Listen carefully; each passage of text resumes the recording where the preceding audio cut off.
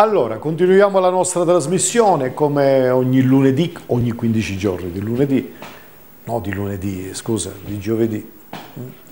Di giovedì abbiamo ospite Massimo Porto, il professore Massimo Porto. Benvenuto Massimo, grazie di essere qui con noi. Buonasera. Con la rubrica Il punto di vista che in questa nuova programmazione appunto viene inserita all'interno del contenitore di Stasera Con. Allora, Massimo, di cosa parliamo stasera?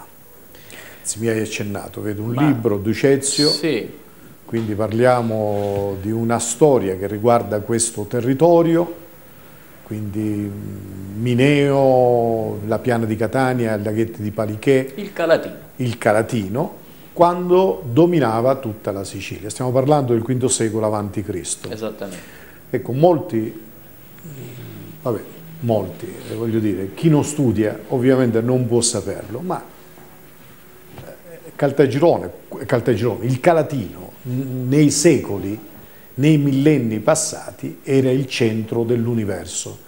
E non è sbagliato dire universo, perché il mondo da allora era così, era tutto quello che si affacciava attorno al Mediterraneo, diciamo, le conoscenze non erano molte. E quindi era il centro del mondo, diciamo, eravamo al centro del mondo. Va bene, Massimo, prego. Sì, sì, no, non è azzardato e non è neppure retorico affermare ciò. L'altra volta mh, abbiamo parlato eh, appunto dell'importanza del ruolo della scuola e dell'importanza del ruolo della conoscenza eh, della nostra storia, della storia locale, che poi spesso diventa storia universale, ehm, per creare eh, quell'orgoglio identitario che dobbiamo ammettere spesso ai siciliani è mancato. Per cui, ehm, perché stasera voglio riparlare di Ducezio? Riparlare perché è capitato in un punto di vista scorso di averne eh, accennato, di averne comunque eh, divulgato, divulgato qualcosa.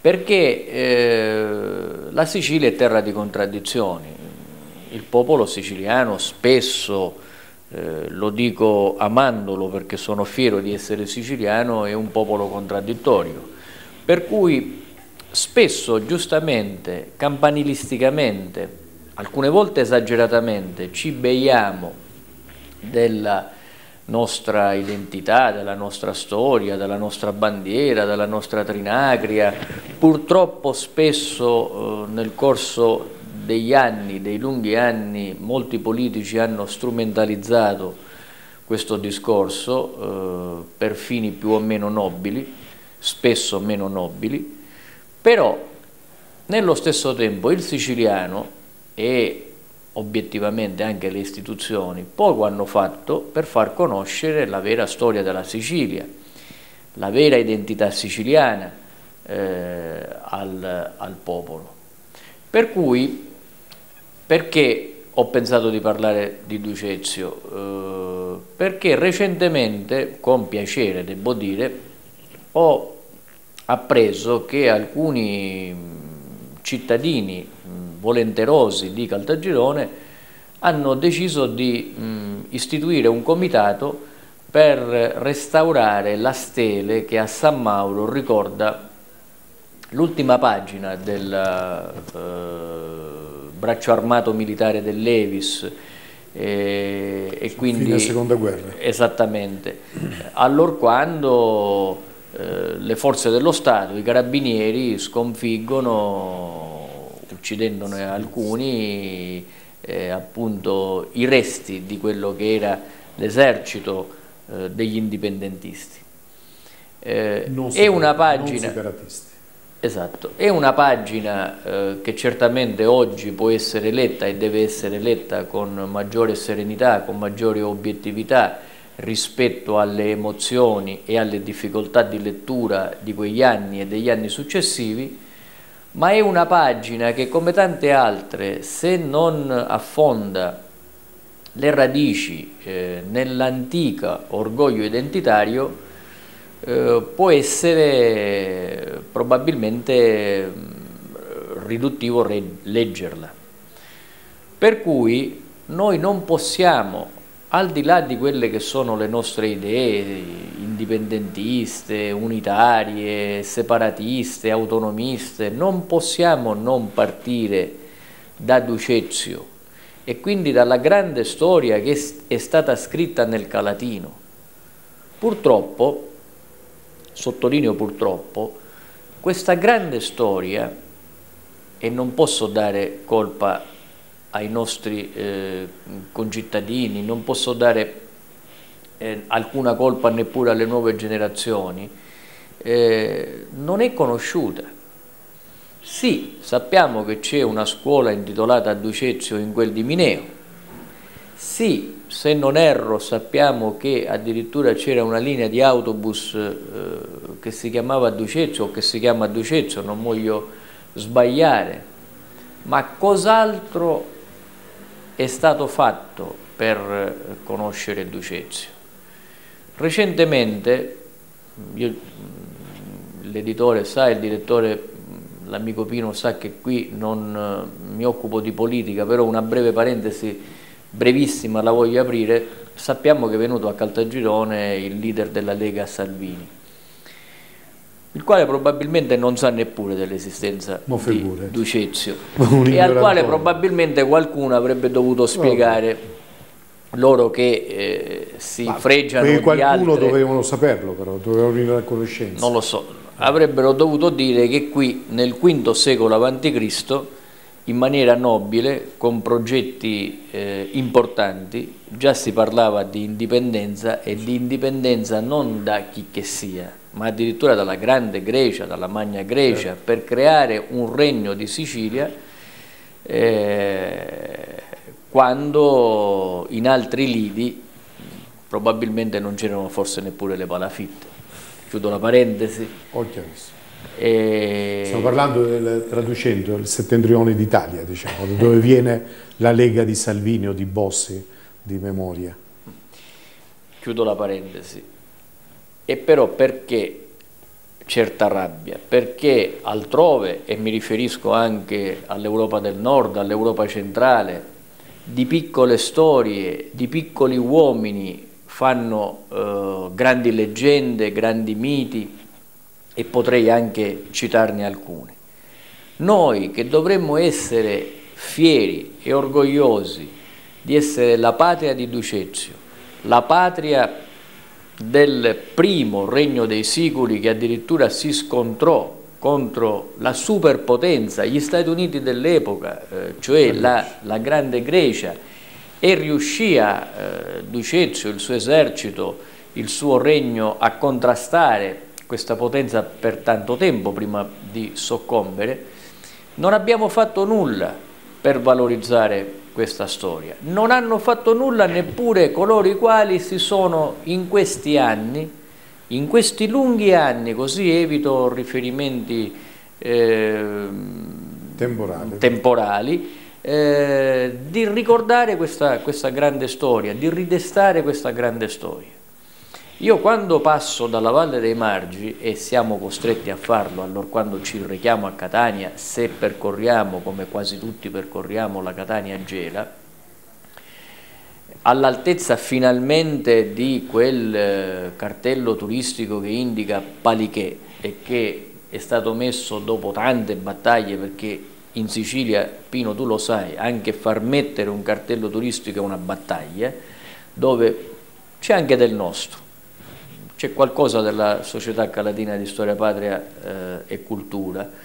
Eh, immagino che altrove eh, ci sarebbe una grande statua dedicata a Ducezio, un grande museo dedicato al primo regno dei Siculi, un grande museo che eh, racconta del mito dei fratelli Palici, laghet dei laghetti dei fratelli Palici, che tutta la mitologia, non la mitologia nostrana o da strapaese, quindi esalta, eh, eh, ricorda, ridesta eh, attraverso gli studi che vengono proposti eh, nei licei classici.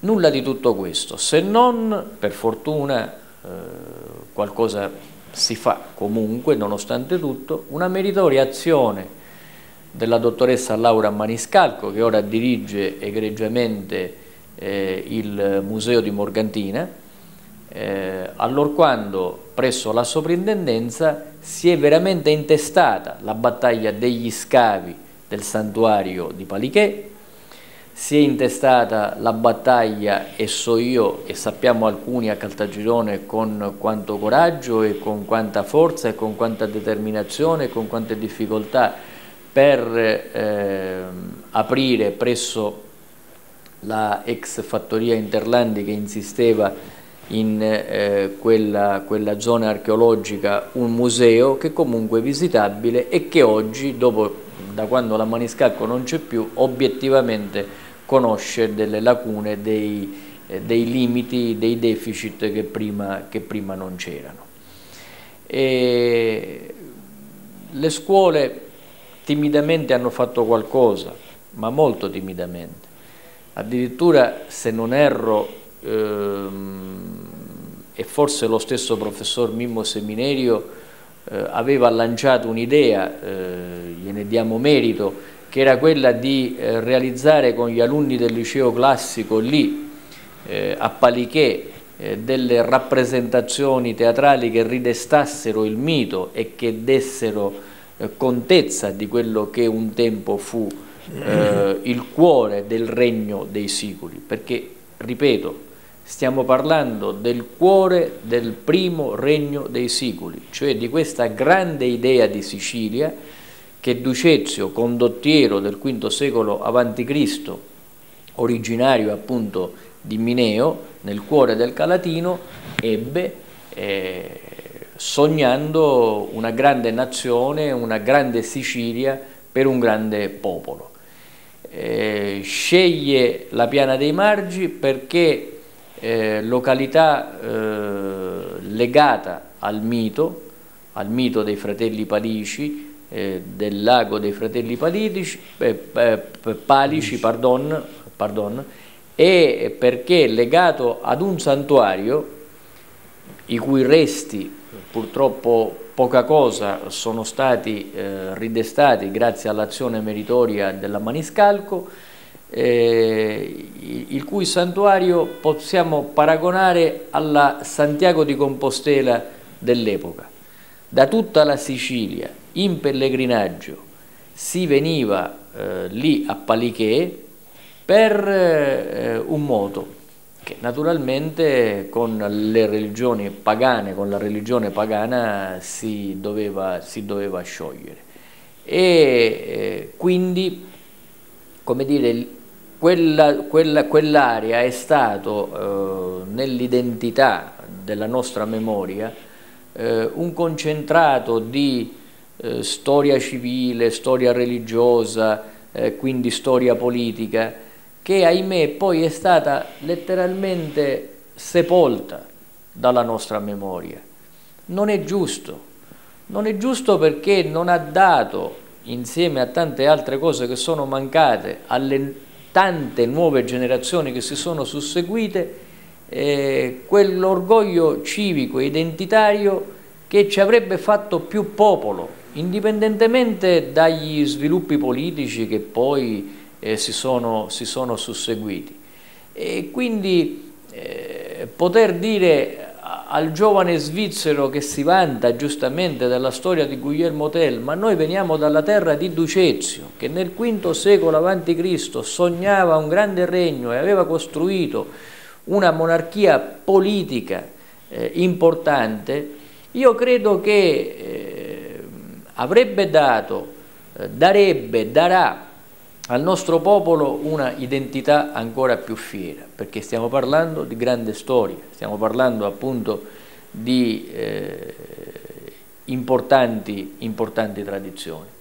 Per cui se ci fosse una politica oggi eh, più alta, più impegnata, più sensibile, più appassionata delle pubbliche amministrazioni, delle amministrazioni locali, io sognerei eh, una caltagirone politica, un'amministrazione calatina, un'amministrazione di Mineo, un'amministrazione di Paragonia, almeno queste tre, che assieme concepiscono qualcosa per valorizzare quella, certo, quell'area, quella, questa, storia, questa pagina di questa storia. In tanti modi, sì. anche attraverso l'idea di alcuni docenti del liceo classico che era quella di trasferire lì, eh, magari nascendo in maniera quasi dilettantistica ed artigiana, alcune rappresentazioni che dessero il segno del mito, l'importanza del mito, della storia, della tradizione.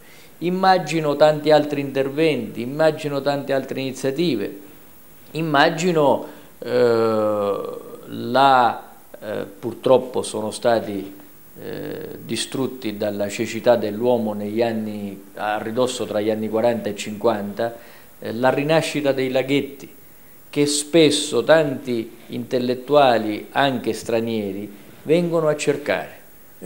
E, e mi consta personalmente, vengono a cercare anzi ora trovano un cartello turistico, eh, un luogo dove eh, poter andare, dei filmati da poter apprezzare che sono appunto eh, dentro questo museo che, ripeto, eh, meritoriamente eh, alcuni della soprintendenza anni fa hanno, hanno, voluto, hanno voluto, realizzare. E, e quindi eh, come dire, eh, non so se è una predica inutile come dicevamo l'altra volta, ma eh, questo messaggio io credo che insieme ad altri che porteremo avanti va ridestato. Eh, dobbiamo conoscere la nostra storia, dobbiamo conoscere le nostre tradizioni e andarne fieri, perché è una storia importante, che non è minore rispetto ad altri e che probabilmente anche, è anche più nobile, più importante, comunque più antica. Quando noi eravamo il cuore del Mediterraneo, quando la Sicilia era il cuore del Mediterraneo, nel Calatino si respirava la grande politica. Come sempre, diciamo, ogni tanto qualche alito si sente, diciamo. Ecco. È così, Massimo, è una delle pagine, forse la meno conosciuta, se non per gli studiosi, gli addetti ai lavori, gli appassionati sì, della sì. storia di questa storia, però ai più è sconosciuto.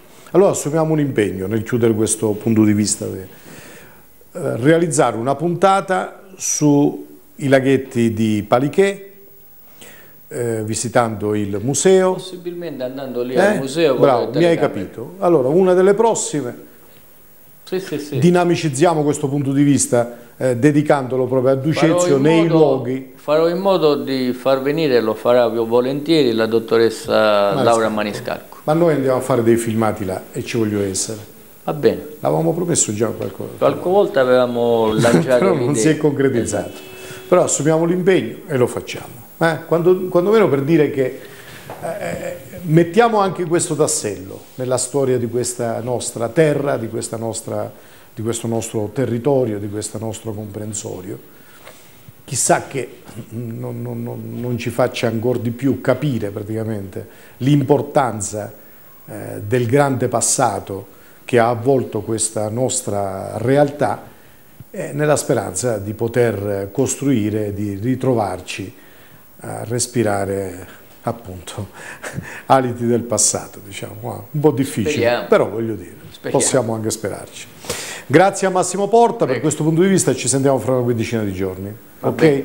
Grazie, buon lavoro. Grazie a te. Pausa pubblicitaria e adesso lascio il microfono a Enzo Nicoletti per uno speciale con la preside, la dottoressa Sabina Mancuso, alcuni rappresentanti del corpo docenti, per parlare dei 150, 150 anni del Secusio, del liceo Secusio di Caltagirone che proprio stamattina è stato celebrato nell'aula magna stessa, dello stesso istituto alla presenza di tantissime autorità e anche con testimonianze certamente toccanti per la storia recente, recente, per i protagonisti recenti che hanno continuato a tenere alto il nome di una delle scuole più prestigiose di Sicilia, di uno dei licei più prestigiosi d'Italia.